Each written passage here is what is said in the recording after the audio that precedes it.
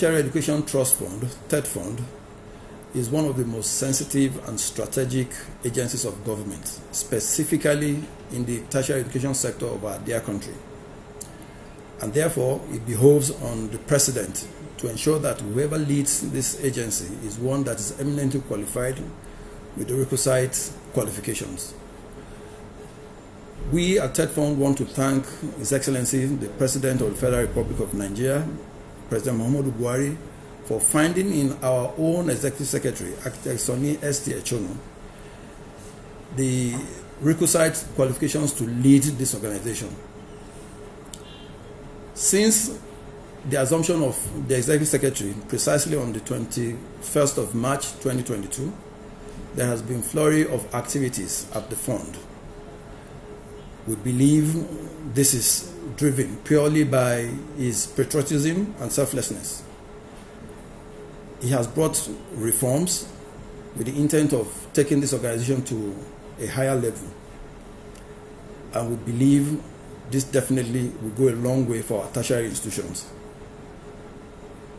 And therefore, we decided that um, to commemorate his 100 days in office, we highlight some of the activities that um, took place within that period.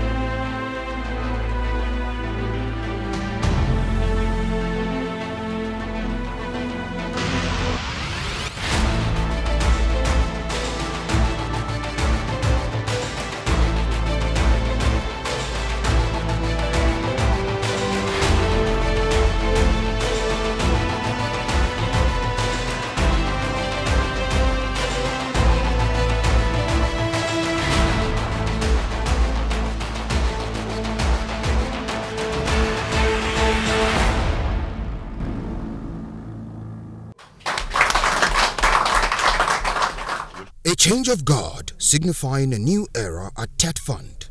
The assurance we shall give is to build on the solid foundation that has already been laid.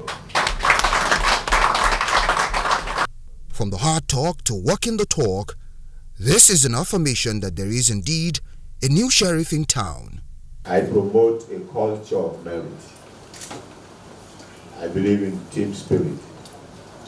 Each and every member of staff is very important.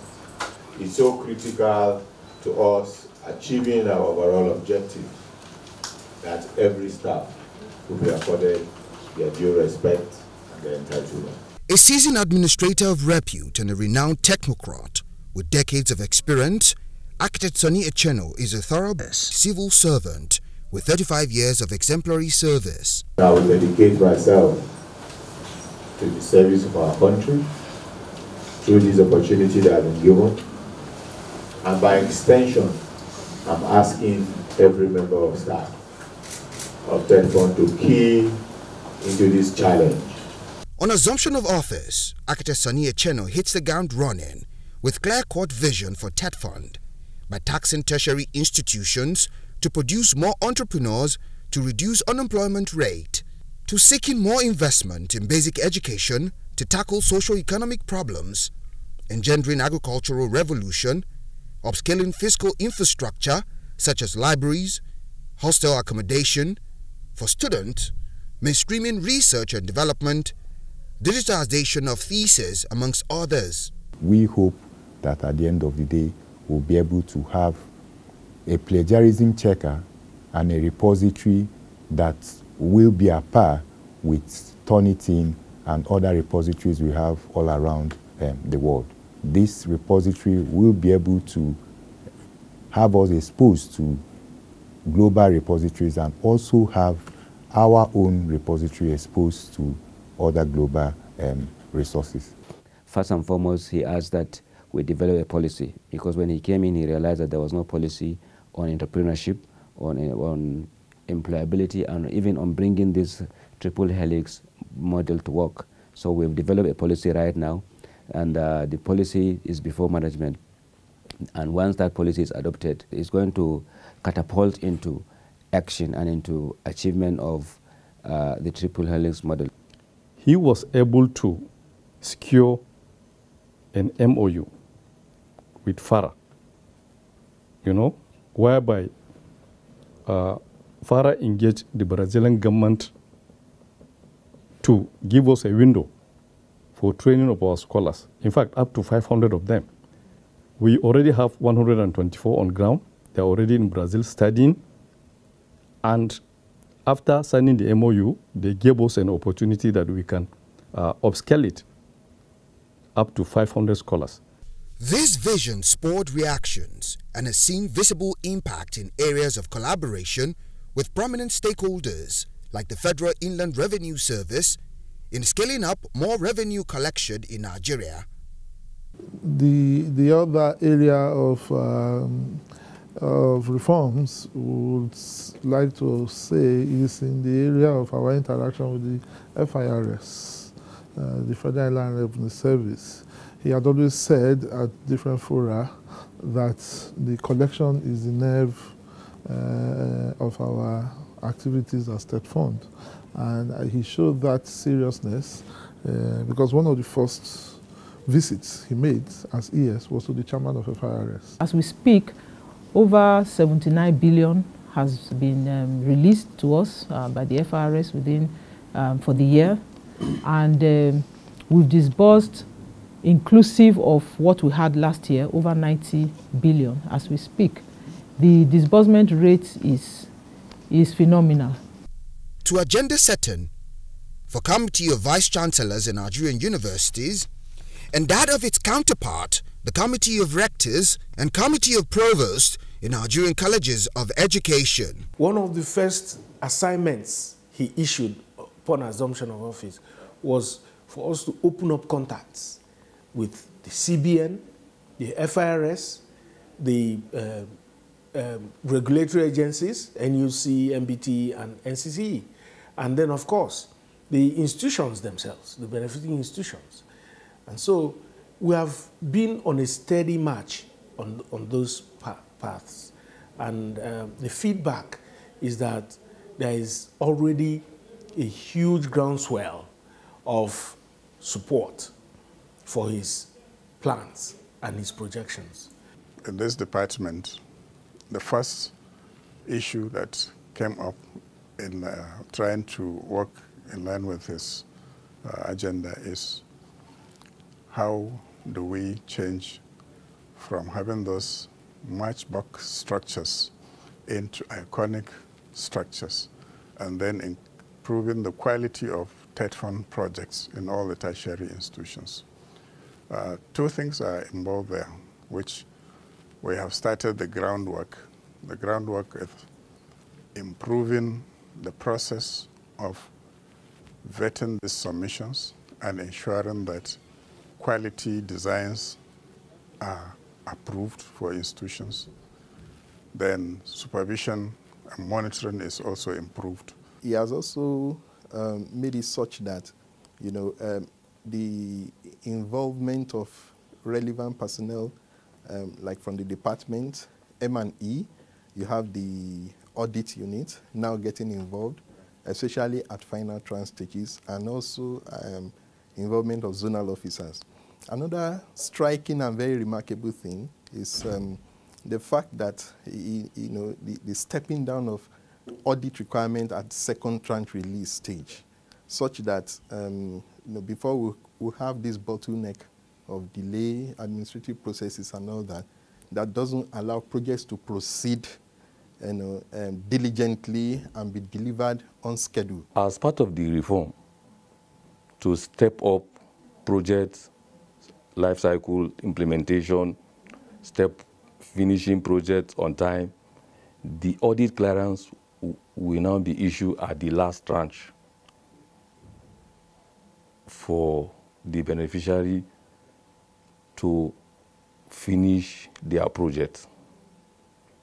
I think with this is a laudable achievement for him. This has seen renewed alliances with Governor Simon Bako Lalong Plateau State in transforming the tertiary educational sector. vis-a-vis that of African Union in forging partnership with the Pan-African University. And the United Kingdom government came calling in areas of partnership in research and development and cross-fertilization of ideas between both countries. We're here because we think, looking at the ambitious plans that TET Fund and the government have for higher education, that there are ways we can work together and learn from um, each other. And all of those meetings were focused really on how we might set up uh, a group to implement a development of increased transnational education activity. The completion of the National Library was not also left out. TETFund is charged to provide funding for the completion uh, because it is already an existing contract. Uh, the fund can only provide funding uh, for the completion. There is already an existing contractor, but the major issue is uh, lack of funding. That's why the project is not completed. And uh, the TETFund had already made provision of 15 billion for the National Library. But there are processes which are required before approvals is given for TETFund to start access, uh, releasing those funds. An engendering agricultural revolution, which he says is another priority area of his administration. It is a roadmap to success in transforming the educational sector and in elevating the status of teaching and learning in public tertiary institutions in Nigeria from brain drain to brain gain. In addition to that, the ES has directed that we carry out impact assessment of our research activities and also to carry out assessment of research infrastructure you know, of our institutions. How ready are our universities in terms of sort of research infrastructure and research superstructure? You know, he would like to uh, assess their level, to what extent they can compete favorably. Before the end of the year, TAC promised to publish 40 books. So out of these 40 books, the 10 that has been promised before the end of June, I just got this today, three books already published.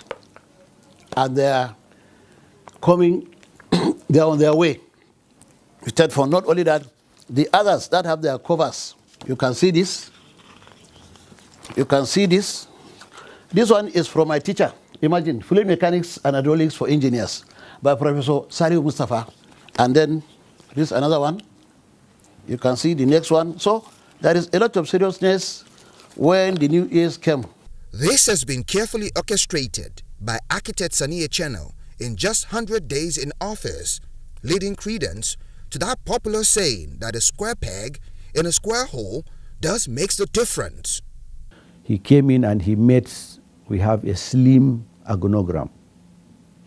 So what we did that he taxed the human resource department to now come up with staff audit so that we now audit the staff and see what we have and what we need to work optimally for the enhancement of education in Nigeria. One very striking and remarkable thing he has, um, he has um, done, uh, he has emphasized on his responsiveness. Um, he wants a situation where the department is responsive and um, we're able to address beneficiaries' concerns immediately. And that's why he was able to come up with a two-week turnaround time that um, when beneficiaries make requests for inspection, we should be able to finish everything, even including disbursement, within a turnaround time of two weeks. We always say it that a leader should lead by example. And we have seen it in him, the way he will come to work, he will treat his file before you know it. I remember there are some times we have sent file, even his busy schedule, even from uh, coming back from a journey, before you know it, the file is treated.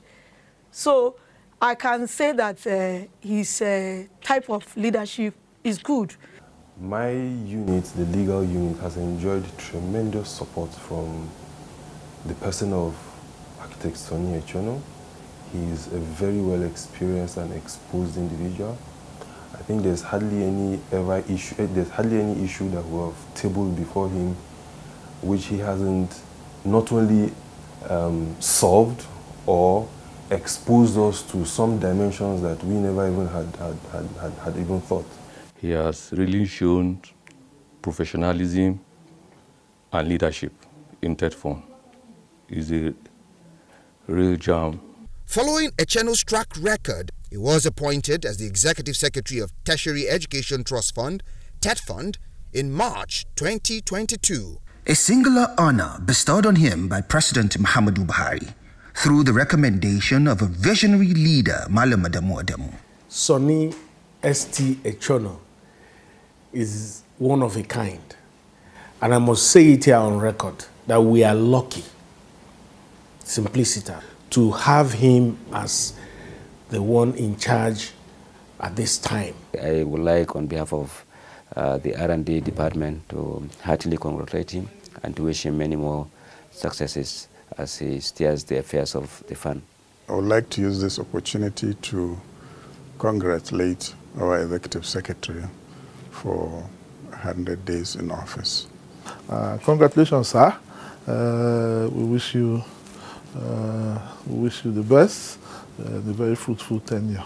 TETFund is lucky having him because he has been one of us. He has served on TETFund Board of Trustees for the last four years and as a board member. Now he's coming as a chief executive of TETFund. So it's an achievement. So TETFund is lucky to have one of its coming back in a bigger capacity. Being our professional colleague, is an architect, is a project manager, is an ICT guru, and is a leader by excellence.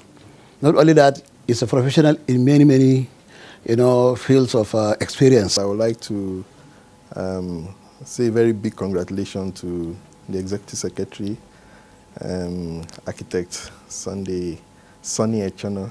He happens also to be my big brother and uh, very, very senior colleague in the profession. Well, I really wish to congratulate the executive secretary on um, this first 100 days in office. They have been very, very eventful. Um, a lot has happened within such a short uh, time.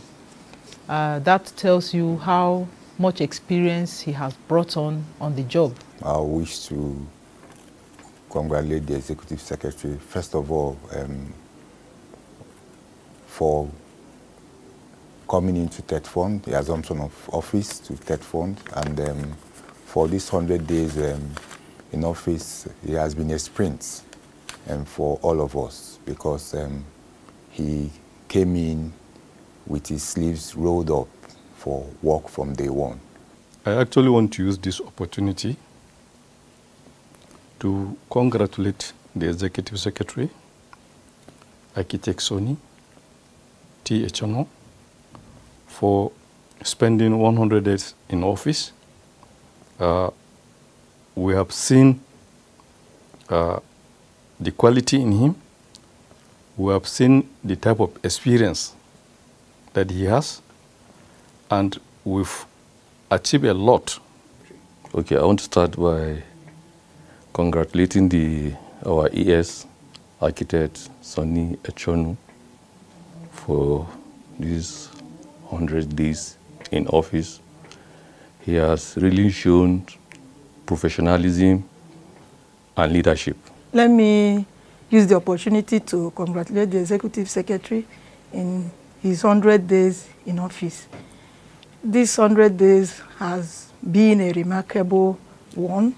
I hope to have closer interactions with him. I hope to to learn more from him because you know I I look forward to that. I look forward to our management meetings with the executive secretary. The Ebonyi State Governor, Dave Nweze Umahi, recently paid a visit to the Tertiary Education Trust Fund to add his voice to the laudable feat architect Sonny S.T. Echono have been recording within the short space of his appointment. While seizing the occasion to solicit for the fund's support for the upcoming King David University of Medical Sciences located in Uburu, Ebonyi State, Governor Umahi said, Given Sonny Echono's exemplary service to the nation over the years, he was confident that the executive secretary will bring huge transformation to the fund.